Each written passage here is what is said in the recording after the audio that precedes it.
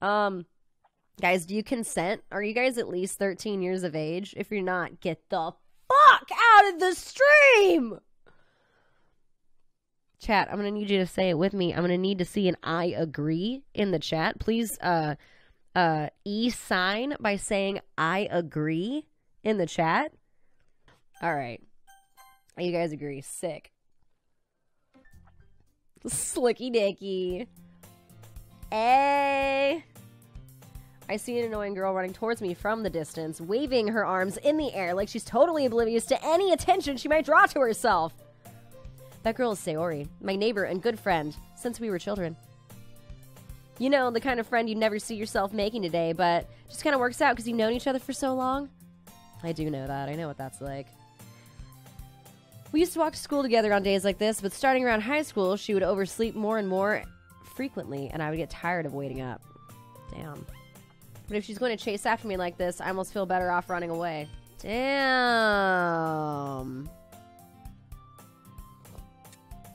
However, I just sigh and idle in front of the crosswalk and let Sayori catch up to me.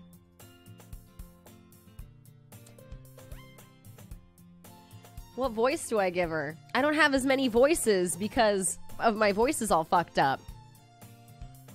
I don't know the intent of this, huh? I overslept again. But I caught you this time. Maybe. But only because I decided to stop and wait for you. Is that my should I just have my voice? Should I just my voice for Tokinoki? You say that like you're thinking about ignoring me. That's mean, Tokinoki.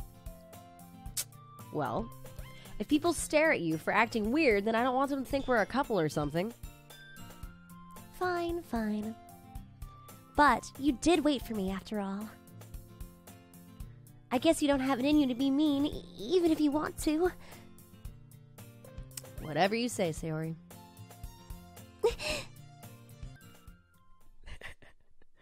and thus, today marks the day I sold my soul for a fucking cupcake. I dejectedly follow Sayori across the school and upstairs, a section of the school I rarely visit, being generally used for third year classes and activities. Sayori, full of energy, swings open the classroom door. Everyone, the new member is here.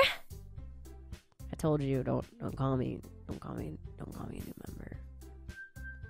Ugh. I glance around the room. Oh God, what, what voice do I give her? She's kind of a little sexy with her purple hair, right? So Welcome to the Literature Club. It's a pleasure meeting you. Sayori always says nice things about you. Oh, God. What's her voice? Fuck. Seriously, you brought a boy? What, what do I make her voice? What do I give her? What do I give her? Who? What? Girl two, pink girl. What does she get? Seriously, you brought a boy? Oh fuck! More voices. God, she's got tickle bitties too. Fuck. What? What do we do with this? Sex this one too. Oh, Tokinoki. What a nice surprise.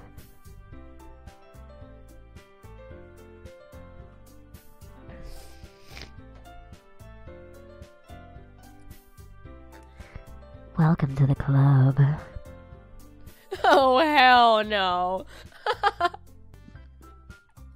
So, Tokinoki, what kind of things do you like to read?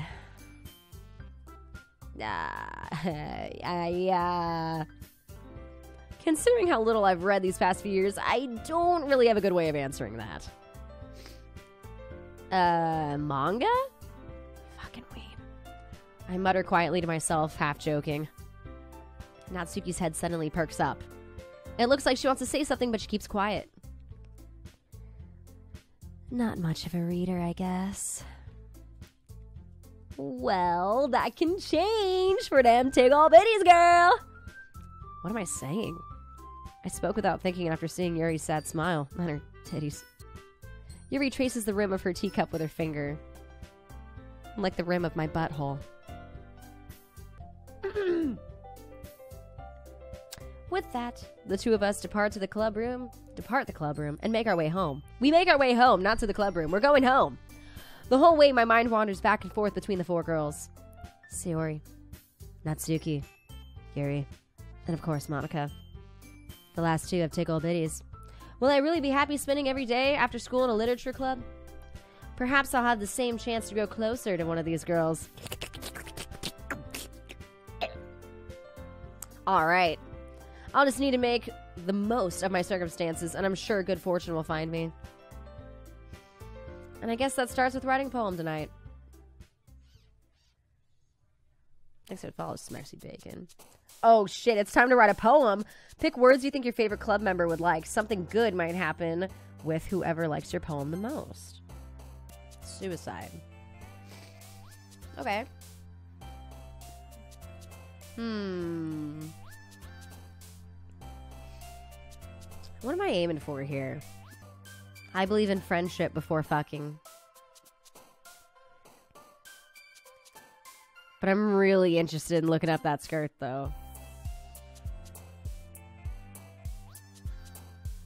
Uh, let's see. But it's really dark outside. And I need to save the puppy. Because despite all my rage, I'm still just a rat in a cage. But, uh.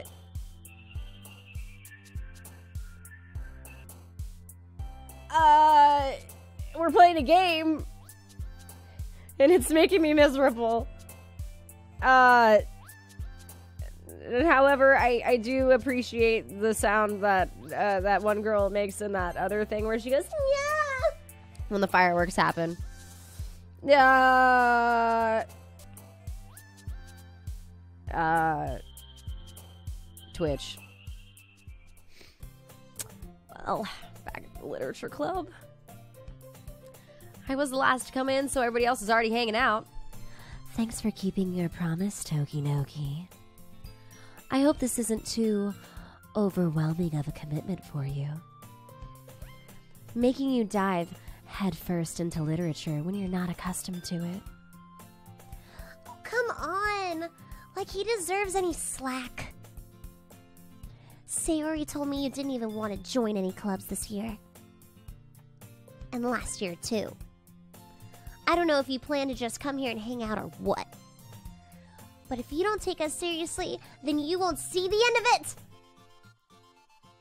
Natsuki, you certainly have a big mouth for someone who keeps her manga collection in the club room.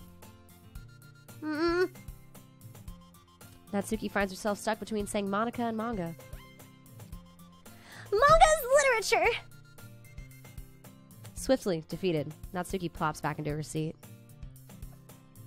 Don't worry, guys! Tokinoki always gives his best as long as he's having fun. He helps me with busy work without me even asking. Like cooking, cleaning my room. How dependable.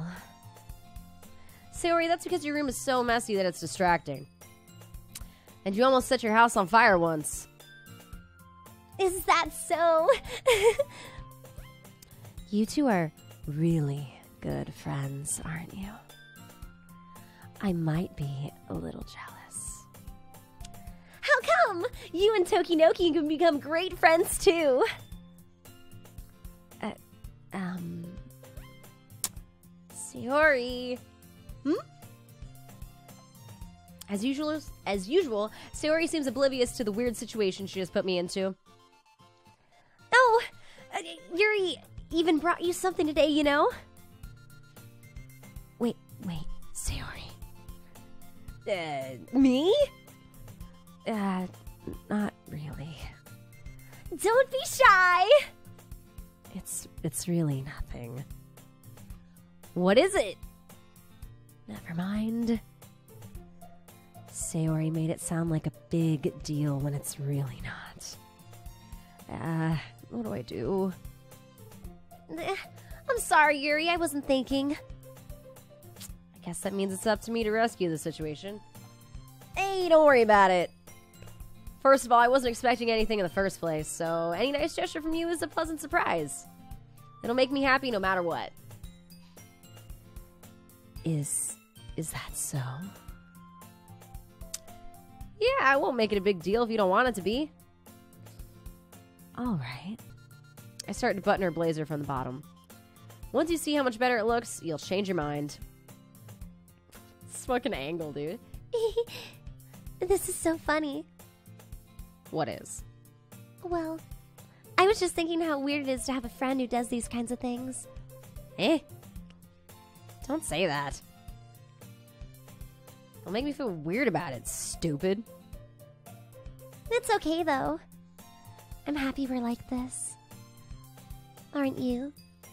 Yeah. I get I guess. Hey, be careful. The button might come off. Why is this one so hard to close? I struggle to fully close the button near her chest. Does this thing even fit you properly? it did when I bought it. Ugh. If you ever buttoned it, you would have noticed sooner that it doesn't fit you anymore. What are you smiling about? It means my boobs got bigger again. What is this shit? Don't say that out loud. You fucking God. You trying to Harvey Weinstein me, dog? anyway, you look much better now. So, uh, why does it feel so strange to see Sayori's blazer buttoned up like that? But it's so stuffy. Ugh. It's not worth it at all. Sayori hastily unbuttons her blazer once more. Much better. Toki Noki, ready to walk home? Yeah, sure, let's go. Sayori beams at me. It truly has been a while since Sayori and I spend this much time together. I can't really say I'm not enjoying it either. You know, Toki Noki. It's nice that I get to spend time with you in this club. But I think seeing you get along with everyone is what makes me the happiest. And I think everyone really likes you too. That's. Every day is going to be so much fun.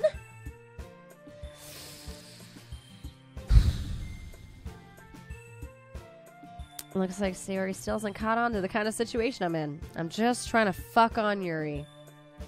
Sure, being friends with everyone is nice, but does it really need to stop there? Have you seen them titties? Well, just have to see what the future holds, Sayori. I pat Sayori on the shoulder. Okay. Yeah. Let's do this.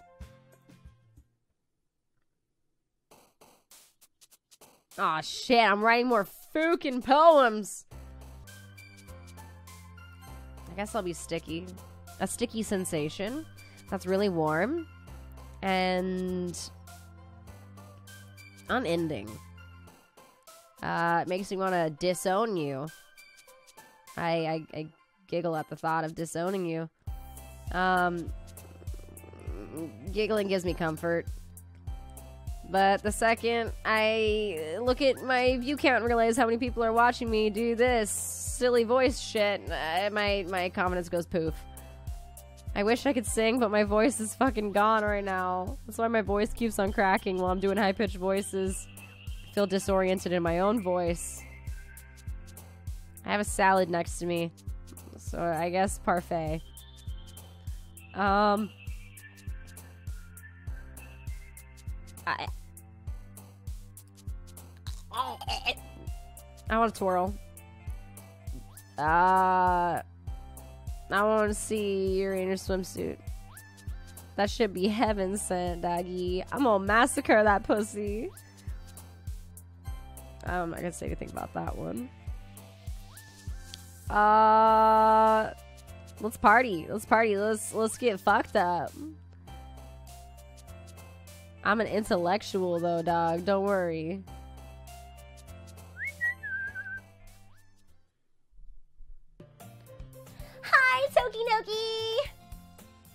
Yo.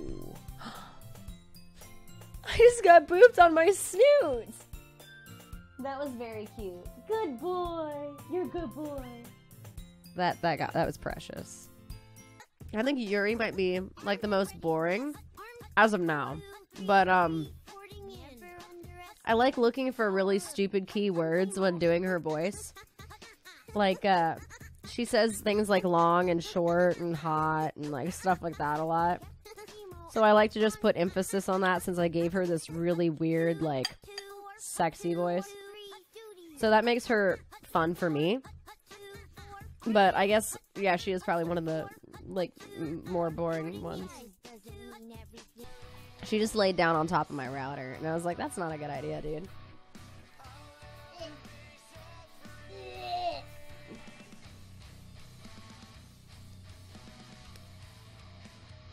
I got a fluffy doggo. I got a mop dog. Mochi, look at them. Over there. Yeah, good girl. Good girl.